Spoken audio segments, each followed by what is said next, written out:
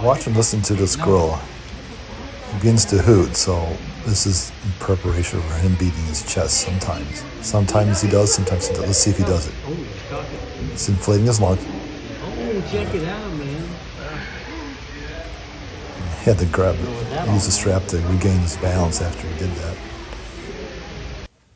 Okay, now watch this. This is he's in a really interesting position. I've never seen him in this position. He looks like he's standing. See his foot's on the ground? And his arm resting his arm on, on the top of that ledge there. So it just looks like he's leaning back and standing. I've never seen him in this position. It's it's kind of unusual.